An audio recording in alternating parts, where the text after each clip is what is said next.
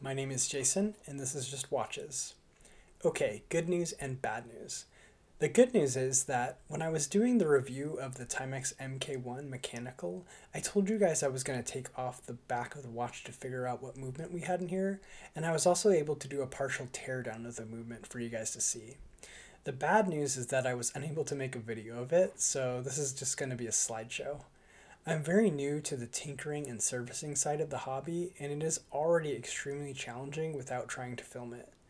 Trying to get a camera between me and the action proved too difficult for this go around. I'm not sure how much of this side of the hobby I'm going to incorporate into my channel, but if I do, I will try to figure out a way to record it in the future. Alright, on to the slideshow. So here we have the watch with the snap-on caseback removed. I was immediately struck by two things. First, this movement is skeletonized and has some minor but fun decoration as you'll see later. And second, it's extraordinarily small.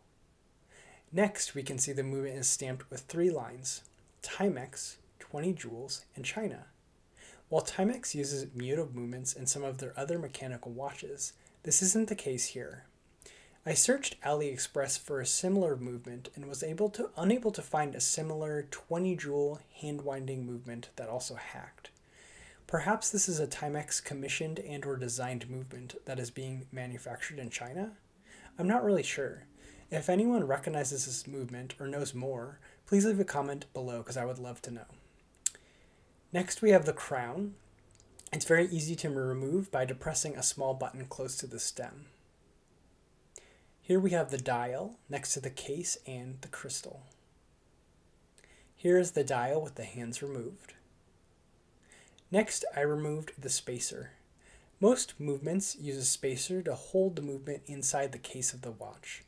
This spacer was very large and very tall to compensate for the small size of the movement. However, it was very well designed. By loosening two dial screws, you can release the dial. You can see on the motionwork side of the movement, the watch is also skeletonized and decorated. You will be able to see it more clearly in a few slides. All right, here we are on the back on the other side of the movement. Here is the balance wheel removed. And now you can just make out the pallet under the balance wheel. Next, I removed the ratchet wheel and the crown wheel. Note the crown wheel is reverse threaded in this case, which is true on many watches. So you actually turn the opposite way to tighten and loosen the screw than you usually do. It's a small detail, but something you definitely want to keep in mind if you do get into watch tinkering. Here is the barrel bridge removed. That long strip in the middle is the click spring.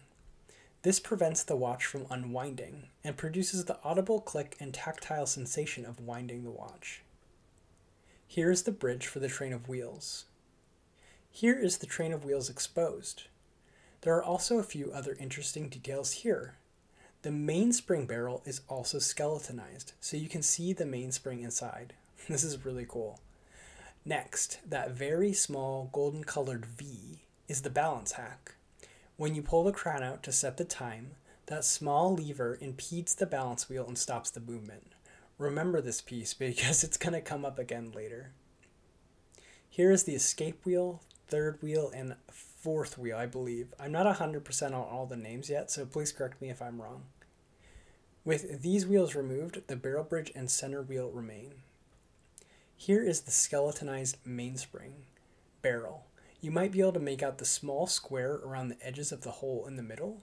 This is where the ratchet wheels fit through the barrel bridge and allows the mainspring to be wound. Here is the mainspring barrel removed from the movement. This is where I stopped on this side. My goal was just to get a feel for the movement, not to fully disassemble it. I have fully serviced a few watches, but since this one is brand new, I sated my curiosity at this point. By the way, you can just make out one of the dial screws at the 12 o'clock position. Here is a much better shot of the decoration on the motionwork side. I did not disassemble the keyless works or remove that interesting plate that appears to be retaining the cannon pinion. Here are the parts I stripped down. There are a few more parts, for example the keyless works as well as the cannon pinion, minute wheel, and hour wheel. Take note here, the balance hacking lever is still attached to the main plate. I began reassembly and noticed the hacking lever was missing. One of the most challenging parts of watch tinkering is the infinitesimally small size of some of these components. They are so small that the slightest amount of force or the simplest break in concentration can leave them lost forever. The second I noticed it was gone, I froze. I carefully inspected my clothes and work area. Oftentimes, a small piece like this can get stuck on your clothing without you realizing it. I stood up ever so slowly and carefully, looking down the whole time. I didn't see anything and mentally prepared for a very long search. However, I was very lucky in that that search didn't last long.